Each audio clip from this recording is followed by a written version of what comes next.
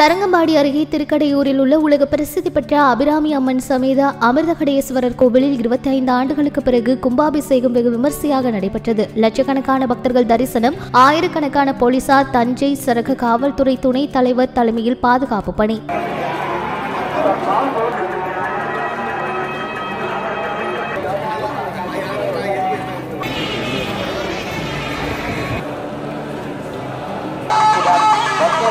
Thank you.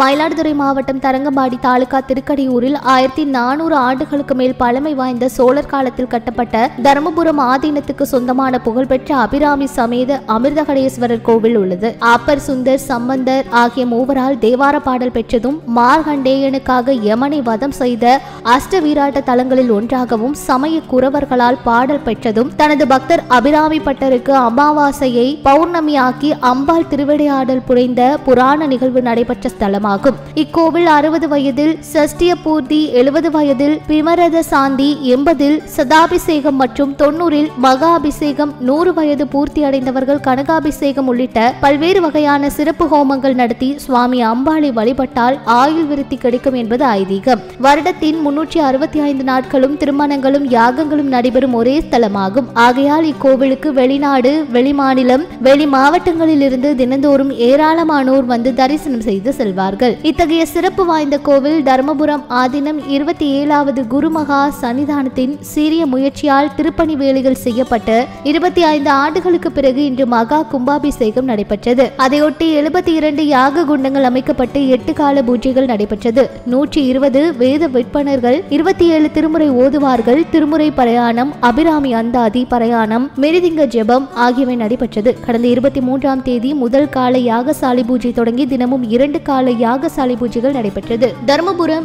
ஆதினம் இருபத்தி ஏழாவது குருமா சன்னிதானம் ஸ்ரீ சல ஸ்ரீ மாசிலாமணி தேசிக ஞான சம்பந்த பரமாச்சரிய சுவாமிகள் முன்னிலையில் புனித நீரால் கோபுர கலசங்களுக்கு மகா கும்பாபிஷேகம் வெகு விமர்சையாக நடைபெற்றது. பின்னர் புனித நீர் பக்தர்கள் மீது தெளிக்கப்பட்டது கும்பாபிஷேகத்தில் பல்வேறு மாநிலங்களில் இருந்தும் பக்தர்கள் நீதிபதிகள் அரசு உயர் அதிகாரிகள் அரசியல் பிரமுகர்கள் என லட்சக்கணக்கானோர் பங்கேற்று வழிபட்டனர். தஞ்சை சிறகு டிஐஜி கயல்வெளி மேற்பார்வையில் நூற்றுக்கும் மேற்பட்ட கண்காணிப்பு கேமராக்கள் பொருத்தப்பட்டு தஞ்சை நாகை மயிலாடுதுறை ஆகிய மூன்று மாவட்ட காவல் கண்காணிப்பாளர்கள் காவல்துறை அடங்கிய போலீசார் ஆயிரத்தி இருநூறு பேர் பாதுகாப்பு பணியில் ஈடுபட்டனர். கும்பாபிஷேக விழாவில் அனுமதி சீட்டு பெற்றவர்கள் மட்டுமே கோவில் உள்ளே அனுமதிக்கப்படுகின்றனர். கொரோனா வழிகாட்டி நெறிமுறைகளால் பனிரெண்டு மணிக்கு மேல் பக்தர்கள் சுவாமியை தரிசனம் செய்ய அனுமதிக்கப்பட உள்ளனர். லட்சக்கணக்கான பக்தர்கள் திரண்டதால் போக்குவரத்து மாற்றங்கள் செய்யப்பட்டிருந்தது.